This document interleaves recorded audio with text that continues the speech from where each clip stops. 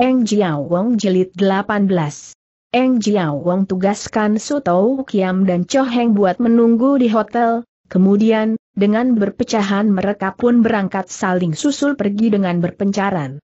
Eng Jiao Wong pergi bersama dua saudara Kam, Tiong dan Hao, dan Te Hito He E Hao Weng. Paling dulu mereka berpesiar di jalan besar umum, untuk lihat keadaan atau kebiasaan penduduk. Kota Tong Pengpa ini ada ramai sekali. Kemudian mereka masuk dalam ruang teh dengan merek Kun Cukie. Di sini ruangan ada lebar, segala apa ada bersih dan terawat baik. Eng Jiao Wang mengharap bisa melihat dan mendengar apa yang penting di tempat umum ini. Baharu Eng Jiao Wang pilih meja, dari luar kelihatan ada masuk satu tetamu umum kurang lebih 30 tahun, mukanya merah, alisnya gomplok, kuncirnya yang besar yang berbenang wal hijau, dilibatkan di lehernya. Dia pakai tungs abu, di bebokongnya tergendol paulok kuning. Di atas sepatunya yang putih, pada libatan kaos kaki, ada diselipkan masing-masing sebatang cagak tajam, hingga dapat diduga dia ada orang kaum Kang Ou. Dia telah pilih tempat di meja kedua di sampingnya Eng Jiao Wong. Jongos lantas sediakan teh keanteh dan cawannya. Tolong ambilkan aku satu cangkir lagi, kata orang itu. Pada Jongos, aku hendak cepat lanjutkan perjalananku, perlu aku dinginkan air teh. Baik, Tuan, sahut Jongos sambil bersenyum. Di sini ada rumah teh tetapi di sini pun Tuan bisa dapat barang santapan dan singgah juga. Tetamu itu bicara dengan lagu suara orang Sancho, soateng untuk Ciat Kang, ia kelihatannya tolol, akan tetapi Jongos melayani ia dengan ramah tamah diam di Ameng Jiao Wong perhatikan orang ini, maka itu ia dapat lihat. Bagaimana dia geser cangkir yang Jongos letaki depannya sekali. Teh ko ampun ditolak ke pojok. Kedua cangkir digeser demikian rupa, hingga bersama teh koan, merupakan bintang tiga, di depan jendela, ada duduk satu tetamu lain, umur kira 40 tahun, dan dannya rapi, Romania sebagai satu sastrawan, gerakannya halus. Setelah si orang soatang geser tahkaan dan cangkirnya, ia lantas berbangkit dan menghampirkan, ketika ia memberi hormat. Kelihatan tangan kanannya diangkat sedikit. Apakah Lauhia hendak sewa perahu di tanya. Sahabat, aku datang dari sungai, ke sungai aku hendak. Pergi, jawab si orang soatang itu. Tapi apa di sini ada? Perahu yang bisa turuti angin dan air? Turuti angin dan air? Ada, Tuan. Satu kali kau naik perahuku, kau tidak akan ingin naik lagi perahu lain orang. Berapa banyak kawan Tuan dan barang Tuan juga? Hanya tiga orang serta barang dua belas potong, perjalanan tiga hari lamanya berarti kira sertus dua. Pululi, bukan? Benar, sahabat, manggut si orang soatang. Silahkan duduk dan ia menolak satu cangkirnya, cangkir yang pertama. Dua saudara Kam dan Hei E Weng dengar pembicaraan kedua orang itu, yang tidak ketahuan junterungannya, mereka menduga dua orang itu ada orang Kang Ou. Karena tidak mengerti, mereka nampaknya heran. Eng Jiao Wong lihat sikapnya tiga anak muda itu yang bisa mendatangkan kecurigaan orang, segera ia ketuk meja dengan pelahan, atas mana tiga pemuda itu tunduk atau menengok ke lain arah, sambil bicara. Tapi diam-diam. Mereka terus perhatikan si orang soatang dan sastrawan itu, yang sekarang sudah duduk berhadapan. Coba kau perkenalkan dirimu terdengar si sastrawan, walaupun suaranya ada pelahan sekali. Si orang soatang menyahutinya dengan terlebih pelahan iagi, hingga tak terdengar tegas apa yang ia bilang. Hanya di kupingnya Eng Jiao samar orang itu menyebut bahwa ia baru untuk pertama kali datang ke pusat umum, untuk mengunjungi suatu hiocu. Keduanya pun sebut gantong San Utara dan Selatan. Selagi bicara, si orang mirip sastrawan, yang ada penduduk setempat, memasang matu ke sekelilingnya, kemudian mereka memesan barang santapan pada Jongos. Sehabisnya minum, Eng Jiao Wong juga memesan beberapa rupa barang makanan, ia dahar bersama tiga kawannya. Habis dahar, ia lantas membayar, ia lalu ajak tiga kawannya keluar. Dua saudara Kam agaknya ogah-ogahan, mereka masih ingin pasang mata. Tanpa sanksi Eng Jiawong pergi keluar. Pocu, dua orang itu mencurigai, kata Hei E Weng. Apa tidak baik kita kuntip mereka?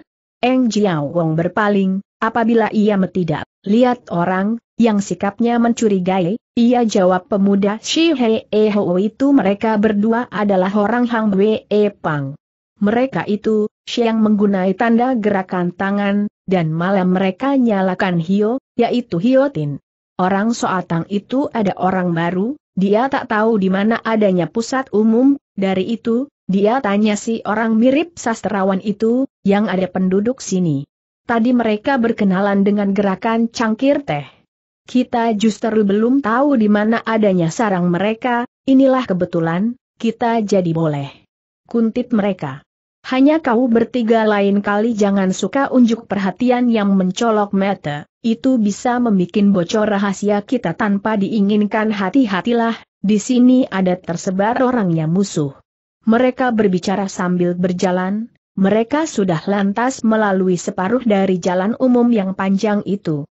Ketika mereka menoleh, mereka lihat si orang Soatang dan kawannya masih belum muncul. Eng Jiao Wong hampirkan seorang tua umur 6 atau 70 tahun, yang jual buahan di tepi jalan, orang mana berkumis putih dan nampaknya jujur, ia terus memberi hormat seraya tanya sahabat, kami adalah orang pelancongan, numpang tanya, untuk pergi ke Gantongsan apakah mesti pakai perahu? Di mana letaknya pelabuhan di sini? Berapa kiranya uang sewa perahunya? Orang tua itu lekas berbangkit. Chuan mau pergi ke Gantongsan Selatan atau Utara ia tegasi. Gantongsan Selatan ada jauh sekali, 6 atau 700 li dari sini. Gantongsan Utara tidak jauh, tetapi ada hampir 100 li. Leluasa apabila menggunakan perahu. Jikalau kita menyewa perahu dari sini kita bisa pergikan dua gantongsan itu. Apa benar Hun Cui Kuan itu letaknya di gantongsan utara? Sebenarnya kami mau pergi ke Hun Cui Kuan. Agaknya tukang buah itu terheran, tetapi lekas ia menyahuti, katanya dari sini Tuan menuju ke timur, kira-kira setengah li akan sampai di pelabuhan, di sana ada banyak perahu sewaan, yang memuat barang dan rang. Itu adalah pelabuhan Tongpengpa. Mengenai tukang perahu asal Tuan bisa mengira-ngira tidak nanti Tuan dapat gangguan. Apakah mereka kurang ajar Eng Jiao Wong tanya. Tidak semua ya. Tetapi mereka satu dengan lain, kalau per mereka bisa mengeroyok. Chuan sudah ada umur, tak usah Chuan layani mereka. Di sana, perahu nelayan pun suka menambat. Baik Chuan sewa perahu sendiri jadi merdeka. Sewaan perahu cuma dua remceng cie satu harinya. Eng Jiao Wong mengucap terima kasih, ia mengajak tiga kawannya berlalu mereka dapat kenyataan, makin dekat ke pelabuhan, keadaan dia ditambah ramai, ada lebih banyak orang dagang. Sepanahan jauhnya dari pasar sudah lantas tertampak banyak layar serta tihangnya. Di sini mereka bertindak pelahan, mereka pun tidak langsung menuju ke sungai hanya berjalan dulu. Dengan demikian mereka justru dapat tunggui dua orang tadi di rumah teh ketika kedua orang itu mendatangi, mereka sembunyi, kemudian mereka menguntit orang menuju ke pelabuhan. Sesampainya di tepi sungai, dua orang itu naik sebuah perahu, agaknya mereka tidak bicara harga lagi, karena itu Eng Jiao Wong lekas menyusul.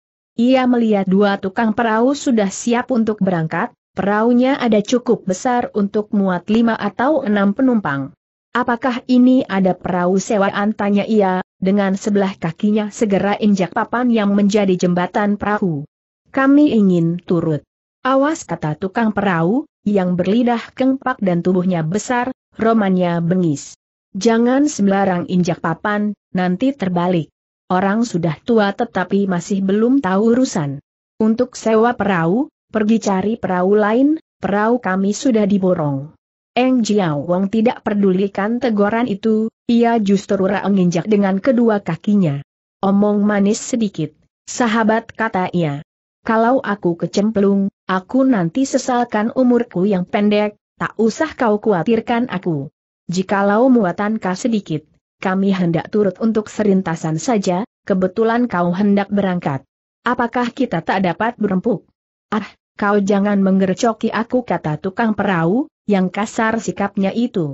Aku sudah kasih tahu, perahuku ini diborong. Jikalau kau menengil, nanti aku ceburkan kau ke sungai. Eng Jiao Wong tidak senang. Tukang perahu, kenapa kau begini galak ya tegur. Kau memangnya punya kekuasaan apa di sini? Tukang perahu itu masih hendak melawan tetapi salah seorang penumpangnya muncul. Sabar, kata ia. Tuan, apa kau tak dapat cari lain perahu? Apakah kau pemilik perahu ini Eng Jiao Wong tanya. Pegawai Renu ini tidak pandai bicara, aku hendak ajar adat padanya. Tuan, seorang besar tak melayani orang kecil, kata orang ini. Dengan sebenarnya perahu ini sudah diborong. Chuan lihat, di sana ada banyak perahu lang lainnya, baik Chuan sewa lain perahu saja. Hektometer baik, aku mengampuni padanya kata Eng Jiao Wong, yang lantas loncat ke darat. Hei eh yang bertiga mendongkol, mereka ingin hajar tukang perahu itu, tapi karena ada Jiao Wong, mereka terpaksa sabarkan diri, cuma mereka mendelik mengawasi tukang perahu itu. Pocu, binatang itu kurang ajar, apakah tak boleh kita ajar adat padanya tanya Kam Tiong selagi mereka bertindak pergi. Eng Jiao Wong tidak menyahuti, ia hanya berjalan terus. Tidak jauh dari situ, di darat ada beberapa tukang perahu. Dua tiga orang di antaranya lantas menghampiri. Apa Tuan hendak sewa perahu tanya yang satu. Pakailah perahu kami, perahunya bersih, kami pun bisa segera berangkat. Aku tidak mau sewa perahu, aku sedang mencari orang sahut Teng Jiao Wong sambil goyangkan tangan, ia jalan terus raya ajak tiga kawannya. Mereka jalan terus di tepi, sampai di gubuknya satu tukang arak, di sini mereka mutar ke belakang gubuk, hingga mereka dapat mengintai perahu tadi sedang mulai berangkat. Di sebelah utara ada belasan perahu nelayan, yang kecil dan enteng, yang lajunya mesti pesat. Eng Jiao Wong pikir akan sewa sebuah perahu untuk kuntit perahu tadi, yang ia percaya akan menuju ke sarang Hang Wei Pang. Ketika ia nampak perahu tadi sudah mulai keluar dari mulut pelabuhan, ia hampirkan sebuah perahu nelayan. Ia tanya, apa perahu itu disewakan? Ya, Tuan, sahut tukang perahu. Apa Tuan cuma berempat? Benar. Tapi perahu kami adalah perahu nelayan, kami tak dapat pergi jauh. Kami pun hendak pakai cuma seharian saja, jawab Eng Jiao Kami memang mencari perahu yang laju. Asal kau menggayu lebih cepat dari biasanya, kami akan membayar padamu dua kali lipat. Kami mau ke Gantongsan Utara. Umpama kau kemalaman di tengah jalan, terpaksa kami mesti menginap di perahumu ini. Perkara persenan, kau jangan takut. Nelayan itu akur, maka bersama seorang kawannya ia lantas siap. Kita perlu lekas, Pocu, nanti bisa ketinggalan, Kam Tiong membisiki Eng Jiao Wong. Ia lihat perahu di depan sudah meninggalkan pelabuhan. Jangan khawatir, sahut ketua Hoa Yang Pei. Perahu mereka besar dan berat, kita akan dapat candak padanya. Mari kita naik. Ketika itu tukang perahu tanya apa boleh lantas berangkat. Eng Jiao Wong membenarkan. Aliran air di sini begini rupa, apa kau bisa pakai layar cuan tentu kurang mengerti tentang perlayaran. Jangan takut walaupun angin tak lurus di jurusannya, kami dapat jam menyamping. Kita berdua pun masih kuat menggayuh, tidak kalah cepatnya dengan layar. Baiklah kau boleh mulai berangkat. Berdua tukang perahu lantas angkat jangkar, mereka segera menggayuh akan keluar dari mulut pelabuhan. Di sini sungai lebih lebar, maka layar segera dipasang. Angin meniup ke tenggara, dan tujuan perahu adalah barat daya. Sebenarnya angin tidak lurus tetapi kedua tukang perahu itu benar pandai. Eng Jiao Wong puas melihat anak buah itu, yang saban bikin perahunya melombai yang lain atau mengelak dari tabrakan.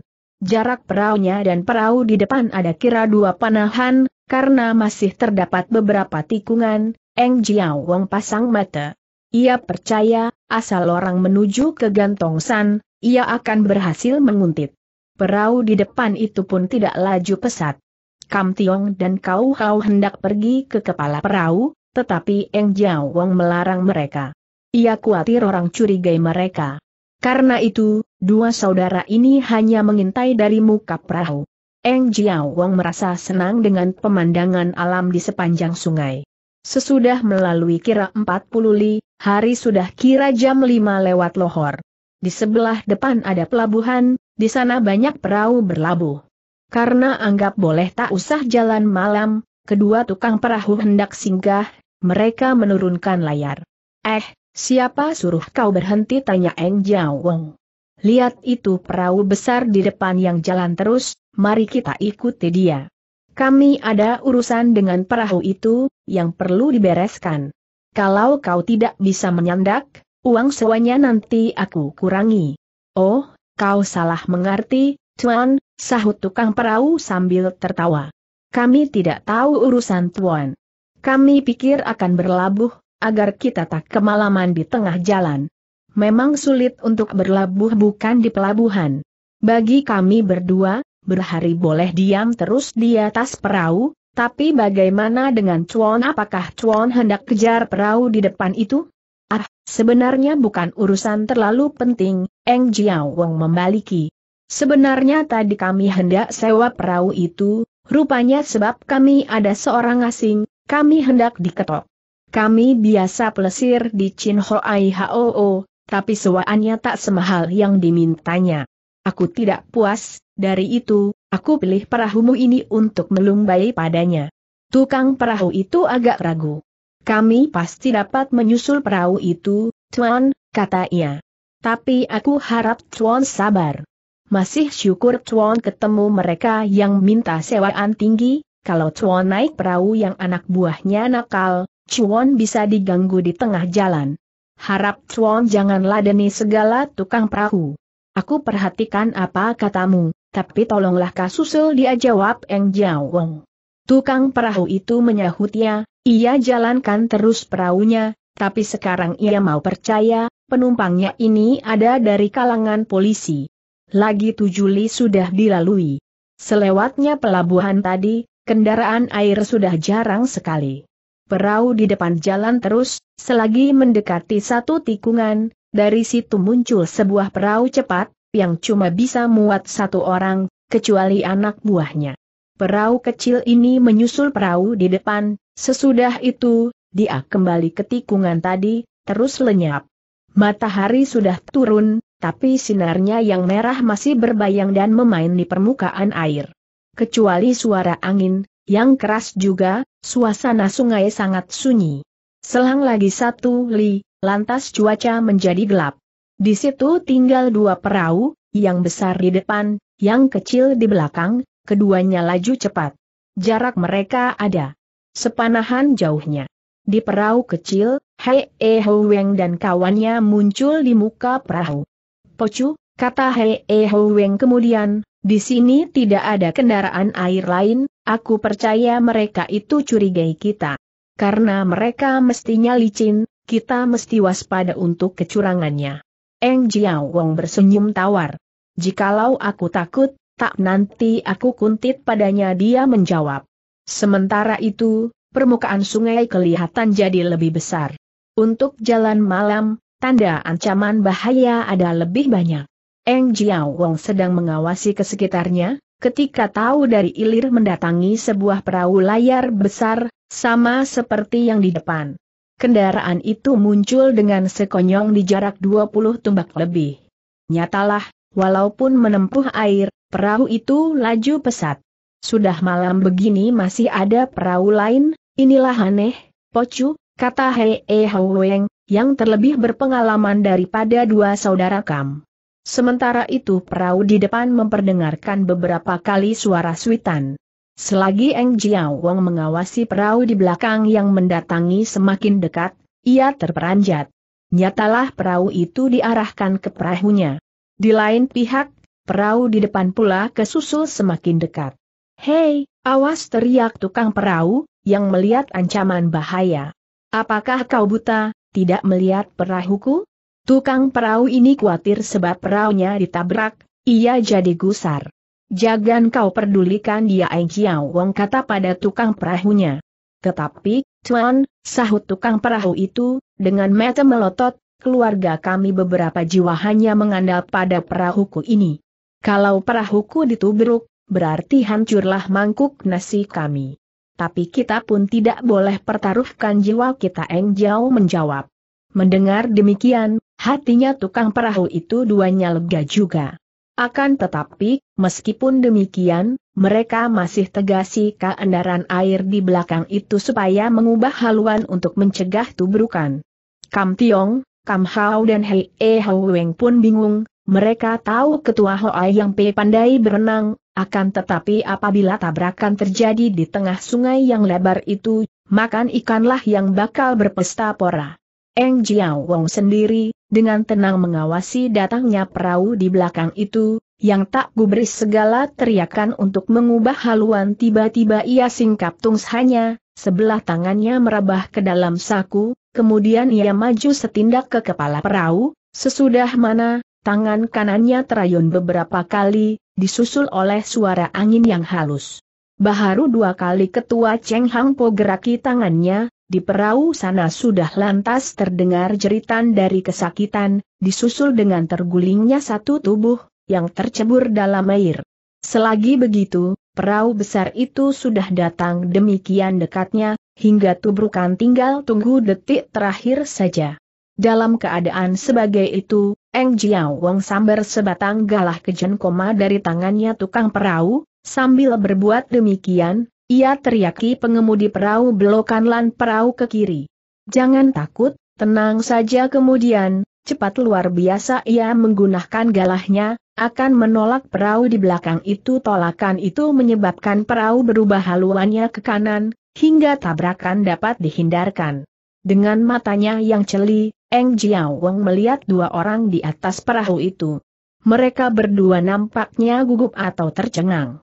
Mereka jahat sekali, Pocu, baik kita bereskan mereka kata Kam Tiong, yang gusar sekali.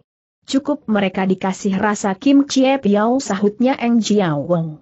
Bukannya kebiasaan kita untuk membasmi sebangsa mereka ini. Benar saja, setelah minggir perahu itu tak mutar balik, akan mencoba menabrak pula.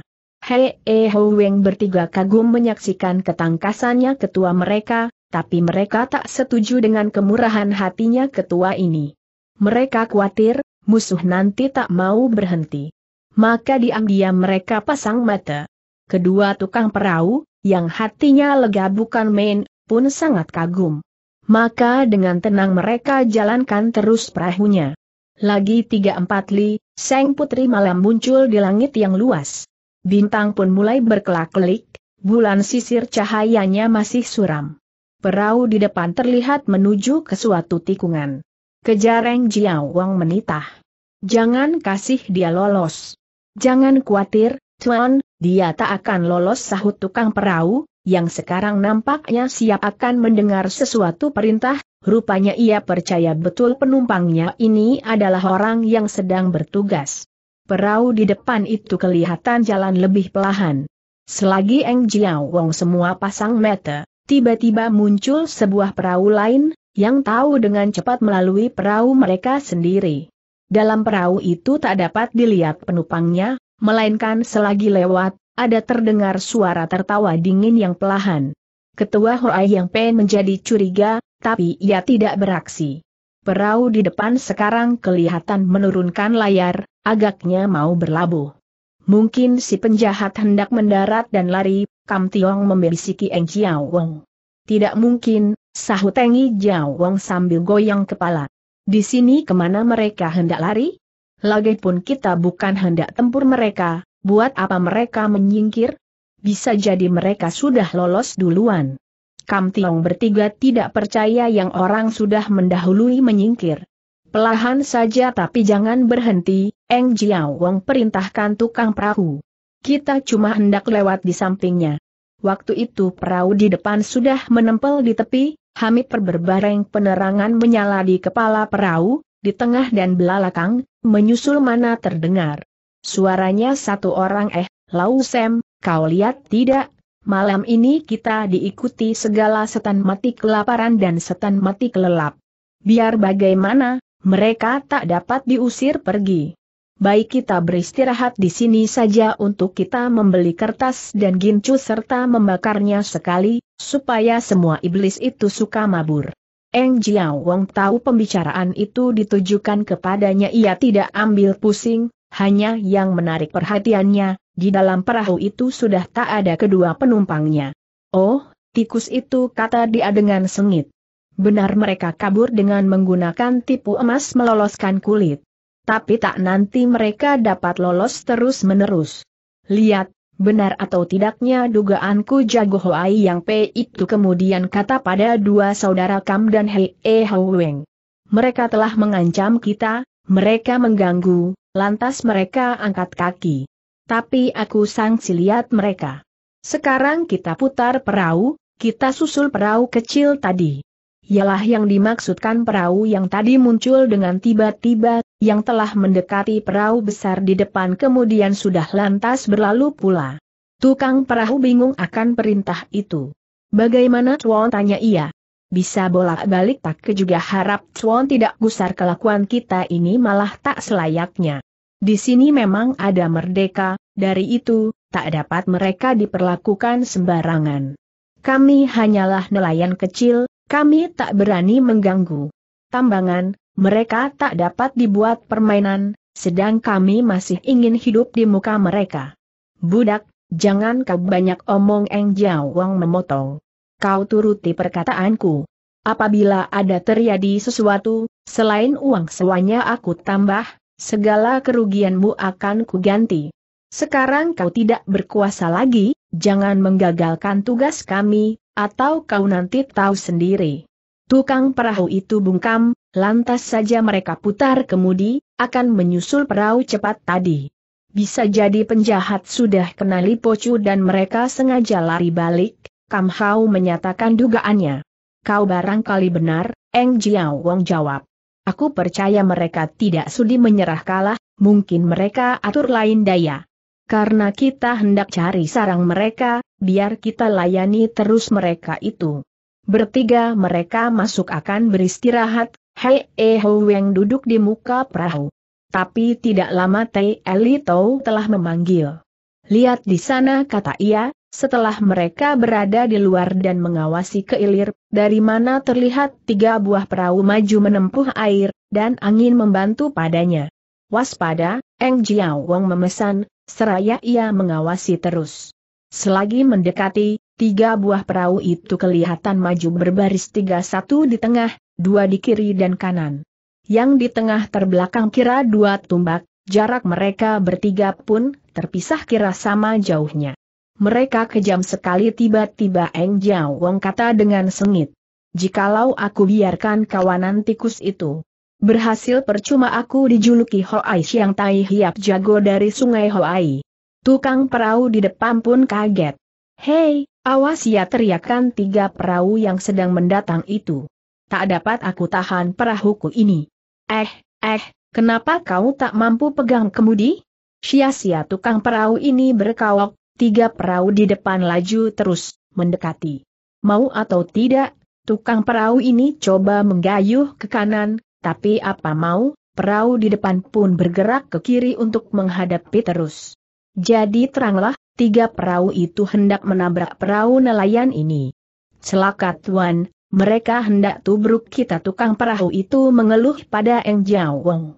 Kita bakal ditubruk dan dicegat, kita tidak bisa meluputkan diri. Perahu kita kecil, kita bakal hancur. Bahna ketakutan, pucatlah mukanya kedua tukang perahu itu. Tapi Hoai Siang Tai Hiap tertawa tergelak. Teranglah sudah kau kurang pengalaman kata ia pada kedua tukang perahu itu. Siapa ditakdirkan mati di kali, dia mesti kelelap. Nasib ada di tangan Tian, buat apa kau? Bingung. Kalau benar mereka niat hancurkan perahu kita, belum tentu niat mereka tercapai.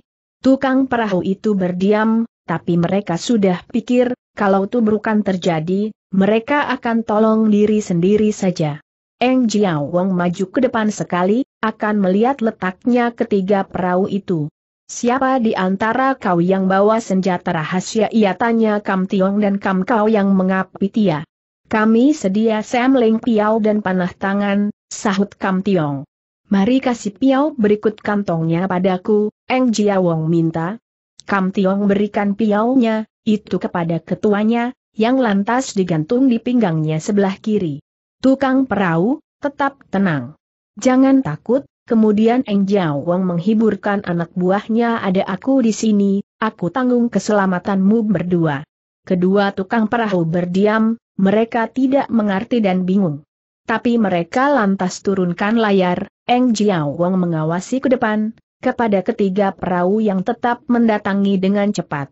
Lalu dengan tiba-tiba ia berlompat ke depan dalam gerakan Cheng Teng Sam Chiao Sui atau capung menyambar air dan lompatan Yan Ko Hui In Chiong atau burung walet terbang ke awan, dapat dikatakan sekejap saja ia sudah loncat naik ke perahu yang di kanan di mana ia mencelat ke tiang layar, yang ia cekal dengan tangan kirinya, sedang tangan kanannya membetot putus tambang layar, hingga dengan jatuhnya layar itu, lajunya perahu itu pun jadi terhalang.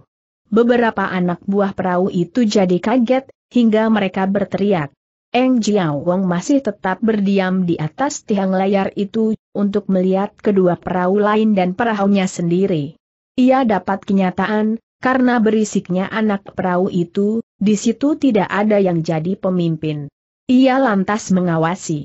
Perahu satunya yang menyusul itu. Lalu ia menyerang dengan sebatang piau. Jitu serangan itu, tambang layar kena telak dan putus dengan segera, maka layarnya pun jatuh hingga perahu itu jadi terhalang lajunya. Segera Eng Jiao Wong kasih dengar suara nyaring kepada perahunya lepas jangkar. Kam Tiong bertiga dengar seruan itu, Hei Eh Weng lantas dulu tukang perahu akan menjemput jangkar, untuk dilempar ke muka air, hingga dengan begitu, juga perahu ini lajunya jadi pelahan. Hei Eh Ho Weng dan kawannya bingung bukan main, baru sekarang mereka saksikan kepandaian yang luar biasa dari ketua Cheng Hang Po. Pihak sana sekarang tinggal perahu yang ketiga, yang di tengah yang tadi laju belakangan, perahu itu dapat susul dua kawannya yang terhalang, dengan begitu, dia jadi datang dekat. Jua teru itu, turun dari tiang layar yang jauh gunai kepandaiannya entengi tubuh akan loncat ke perahu ketiga ini, untuk loncat naik di kepalanya perahu. Menyusul menaiknya ketua Huai Pang Pei ke atas perahu ketiga itu, dari dalam perahu loncat keluar satu orang, tetapi dia bukannya menghampirkan musuh, dia hanya terus terjun ke air. Dalam sekelebatan, Eng Jiao Wong masih bisa lihat rupa orang, ia seperti ingat pernah lihat orang itu, hanya ia lupa entah di mana. Ia pun tidak sempat berpikir. Dari dalam perahu, kembali keluar dua orang, yang satu berusia lebih kurang 30 tahun, yang lain kira 20 tahun. Pakaian mereka ini ringkas dan tangan mereka bersenjata, orang tua, kau ada sahabat dari mana demikian yang satu menegur.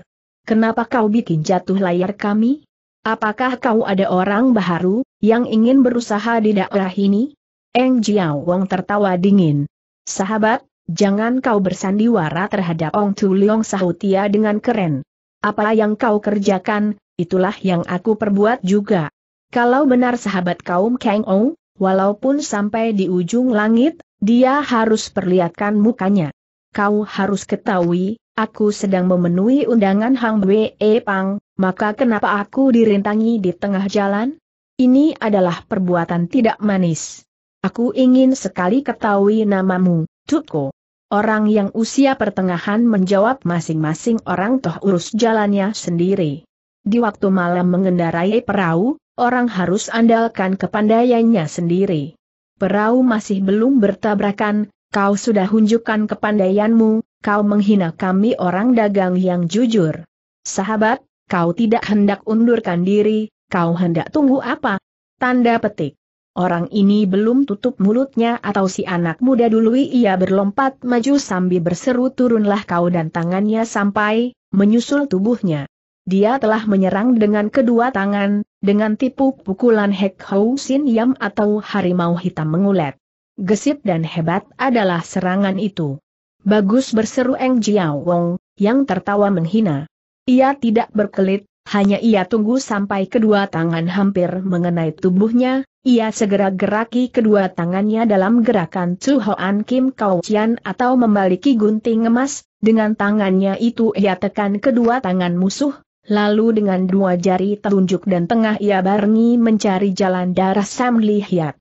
Ia berhasil, karena si anak muda tidak keburu tolong diri maka tidak tempo lagi pemuda itu berdiri diam dengan kedua tangannya dikasih turun.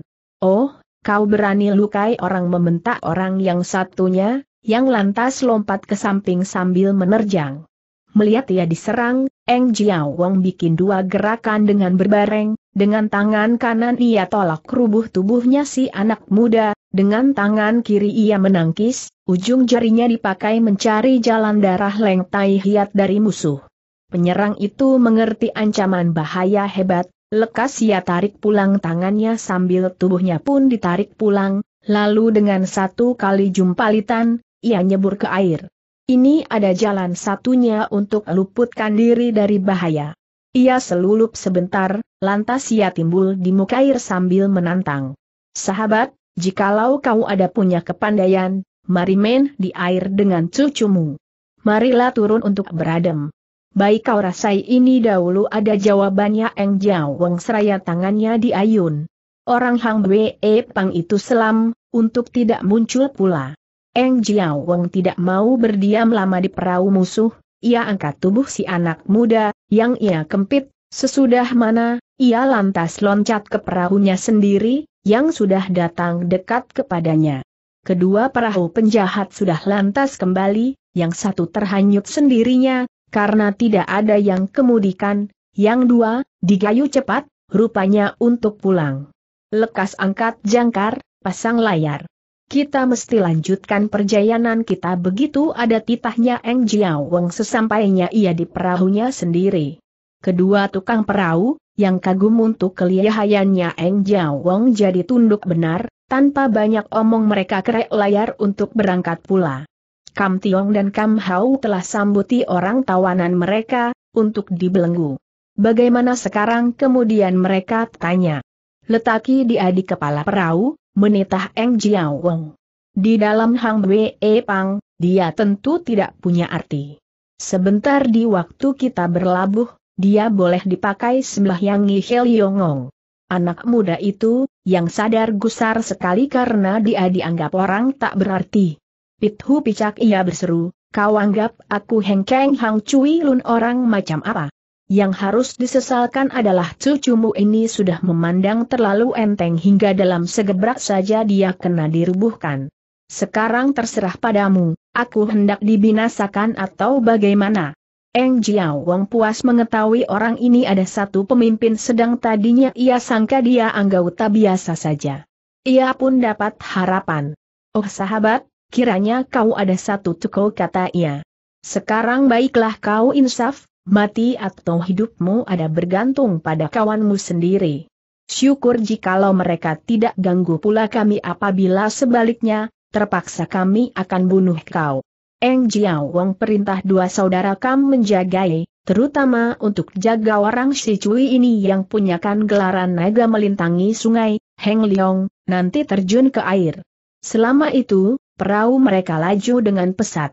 Sekali ini, mereka tak dapat halangan suatu apa dan mereka pun tidak ketemukan lain kendaraan air lagi. Tiga perahu di belakang telah ketinggalan jauh, nampaknya sebuah titik hitam saja.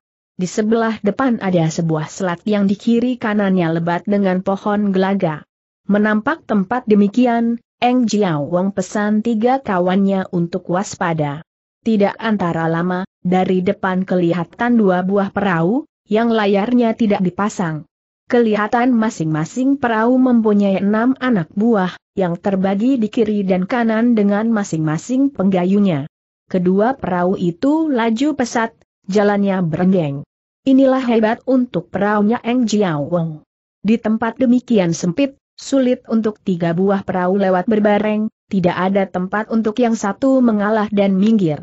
Selagi kedua pihak mendatangi semakin dekat satu kepada lain, sedangnya kedua anak peraunya Eng Jiao Wong pikir ke arah mana mereka harus mengalah, tiba-tiba dari darat terdengar suitan dua kali beruntun. Turunkan jangkar Eng Jiao Wong perintahkan dengan mendadak, karena mana, peraunya pun jadi berhenti dengan tiba-tiba. Segera dari tepian sebelah timur, di antara gombolan gelaga, muncul dua orang dengan pakaian malam, dengan berlompat mereka ini naik ke perahu di depan, Kemudian yang berdiri di sebelah kiri, perdengarkan suaranya kau jangan pikir untuk maju lebih jauh. Di sini kami bikin perhitungan. Menyusul itu, terdengar suara mencebur beruntun, seperti dua tiga orang terjun ke air. Sahabat, apa maksudmu dengan mencegat kami Eng Jiao Wang menegur? Sahabat, di sini aku si orang Shiong, berilah pengajaran kepadaku.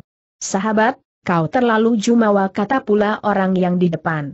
Kau telah andalkan kepandaianmu, kau telah rusaki perahu dan tawan juga orangku. Sekarang merdekakanlah orang itu, lantas kau akan hidup untuk beberapa waktu lagi, jikalau tidak, jangan menyesal. Aku Ong Tu Leong datang untuk menemui orang gagah yang ada mukanya, maka kenapa kau, bangsa Bu Beng Xiao Cut, berani banyak lagi? Cuma kah sebaliknya cari celaka sendiri. Baharu Eng Chiao Wong tutup mulutnya, lalu terdengar suara air di kiri dan kanan perahunya, di mana timbul masing satu orang tangan siapa lantas pegangi pinggiran perahu, keduanya segera menantang. Tua bangka, jangan bertingkah. Jikalau kau benar punyakan kepandaian, mari turun akan main dengan kami. Di sini adem. Nyatalah benar dugaanku, pikir Ong Tu Liong, yang lantas membentak kawanan tikus, karena pandai berenang, kau berani menghina aku si orang tua. Hayo, jikalau kau tidak mundur, jangan katakan aku tidak pakai aturan. Selagi ketuanya bicara, Kam Tiong dan Kam Hao berseru seraya masing-masing menyerang dengan piau dan panah tangan mereka, atas mana, kedua orang di dalam air itu selam dengan cepat, kemudian mereka timbul pula, di tempat enam kaki jauhnya. Oh, Bocah, kau gunai senjata rahasia mereka itu menegur. Jikalau kami tidak berdaya akan bikin kau tenggak sedikit air, kecewa kami telah tancap kaki di kalangan Kang Ou. Keluarkanlah kepandaian renuji kalau kau mampu Eng Jiao Wong sambut tantangan itu. Ia membungkuk akan angkat tubuh orang tawanannya, kemudian ia kata pula pada dua orang itu kawanan tikus, aku sudah ketahui akal busukmu sekalian. Bukankah kau hendak rusaki dan terbaliki perahuku? Asal kau berani rabah perahuku, lebih dahulu aku nanti bikin habis jiwanya cuit cucumu ini. Aku nanti tukar jiwanya dengan perahuku, jangan katakan aku kejam. Ancaman ini mempan, dua orang itu nampaknya bersangsi. Juga dua orang, yang berada di atas perahu, sudah lantas berdamai satu dengan lain mereka dapat kecocokan akan kurbankan Cuilun. Heng Kang Leong dianggap ada anggota baru, sebenarnya dia belum berhak untuk menjadi Tukyo, tetapi karena ada andalan di dalam pusat umum, Chongto, ia diangkat jadi Sun Kang Tukyo bahagian barat. Memang biasanya dia kepala besar, hingga dia tak disukai oleh sesama kawannya. Kedua orang di perahu itu hendak gunai ketika ini akan lampiaskan dendaman mereka. Mereka sudah lantas ambil putusan, setelah mana, Yanyi satu lantas serukan para pundak rata, turun tangan. Cui tuku ada enghiong kita, untuk dia kematian tak ada harganya. Kita terbaliki perahu mereka itu, urusan di belakang kemudian ia tambahkan pada lain kawannya. Siapa bisa berenang, semua mesti menyebur ke sungai. Atas ini, lima orang lantas loncat ke air saling susul, hingga air sungai munkrat dan perdengarkan suara nyaring dan berisik. Lekas bantui tukang perahu pinggirkan perahu kita Eng Jiao Wong titahkan Kam Tiong dan Kam Hao. Ia lihat musuh sudah jadi nekat. Ia pun beritahukan tukang perahu untuk jangan berkuatir, dia akan ganti harga perahu kalau sampai perahu itu karam dan hancur. Celaka, mereka sudah bor perahu, mendadak tukang perahu menjerit. Eng Jiao Wong sebaliknya malah tertawa besar. Kawanan kurcaci ini sangat menghina aku ia berseru. Terus ia angkat tinggi tubuhnya Cui Lun pada siapa ia. Kata sahabat aku Ong Chuliong tidak mau bunuh kau, tetapi kawanmu itu tidak pedulikan kau mati atau hidup, maka aku tidak bisa berbuat lain, tak dapat aku kasih kau lolos lagi. Adalah niatnya Eng Jiao Wong akan banting musuh itu di muka perahu, tetapi selagi ia hendak ayun tangannya, dari hilir muncul sebuah perahu yang lajunya cepat bagaikan ikan berenang, setelah datang dekat, dari perahu ada seruan orang Hoa yang petahan. Mari kita bicara. Tanda seru. Suara itu disusul dengan loncatnya satu orang dari perahu itu, pindah ke perahu yang ke atas gubuk, sambil dia terus berkata dengan nyaring. Atas titahnya Pangkyo, Sun Kang cukup bahagian barat diharuskan membiarkan Cheng Hang Popo Kyo, ketua dari Hoa Yang Pei, datang untuk memenuhi undangan. Semua pusat Beihok dilarang mencegat dan mengganggu, siapa melanggar perintah dia akan dihukum. Dua orang di atas perahu lantas menjura pada orang yang baru datang ini, sikapnya sangat menghormat.